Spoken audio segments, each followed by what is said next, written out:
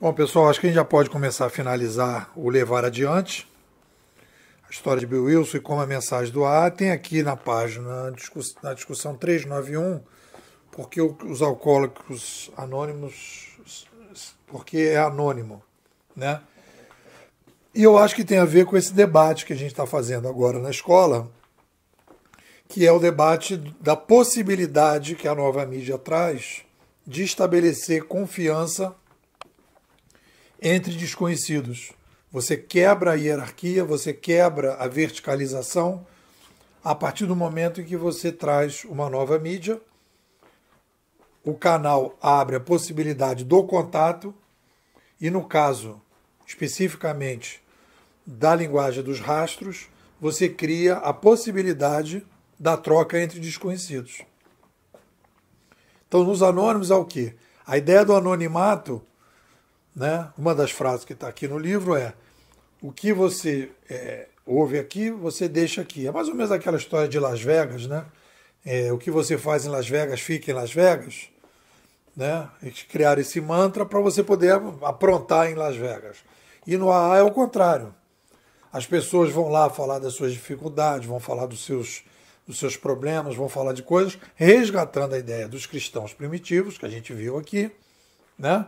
Então elas vão compartilhar, entre aspas, os seus pecados com pessoas que elas não conhecem e a garantia de que aquilo ali não vai prejudicar as pessoas é o anonimato. É o anonimato de todo mundo que está lá, das, das partilhas que são feitas para que ninguém seja prejudicado. E aí você estabelece um vínculo de, de confiança entre os desconhecidos.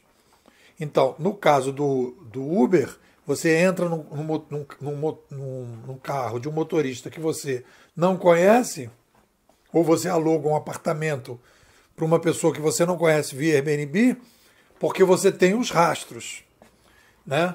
E no caso do AA, você criou um critério de anonimato. É o contrário, exatamente o contrário.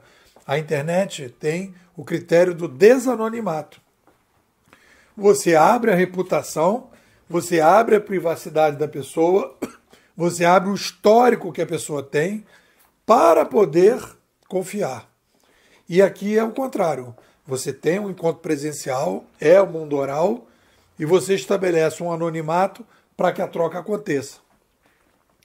Nos dois casos, para que, que a coisa tenha sucesso, você está lidando com o critério de confiança.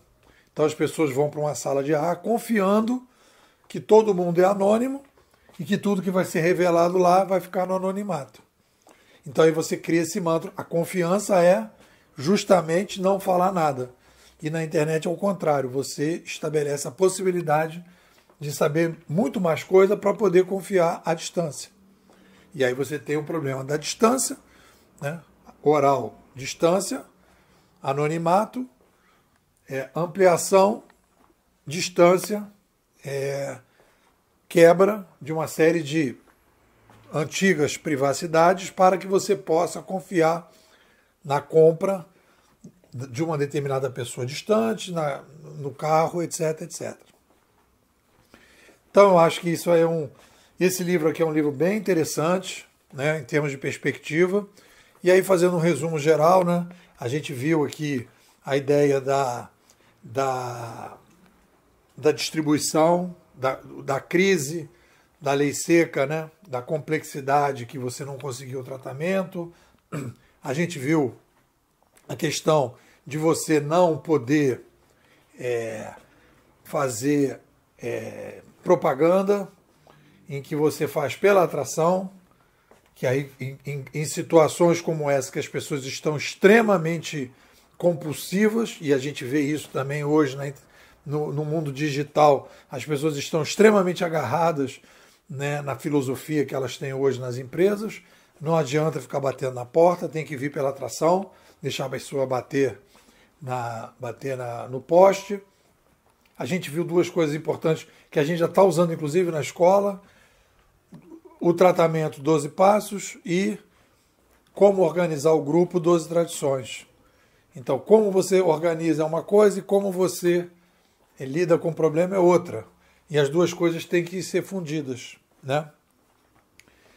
Então é um livro interessante, acho que é um livro para a escola, um livro que eu diria que é um livro estruturante, né, do ponto de vista é, se encaixa onde?